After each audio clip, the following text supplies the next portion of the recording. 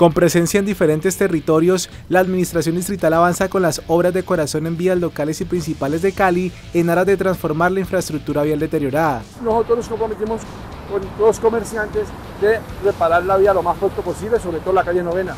Podríamos decir que hoy la calle Novena está reparada desde la 32 hasta la 24.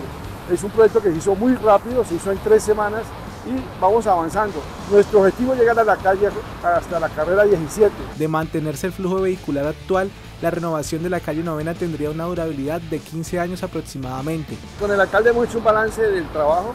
Vamos a pasar al barrio, a la comuna 10. En la comuna 10 encontramos a San Judas, al Guabal y el Olímpico. Son sectores que vamos a cubrir y seguiremos avanzando hasta terminar el 100% del contrato. Renovando la malla vial de la ciudad, la alcaldía de Cali mejorará 400 kilómetros de vías al término de la vigencia 2023.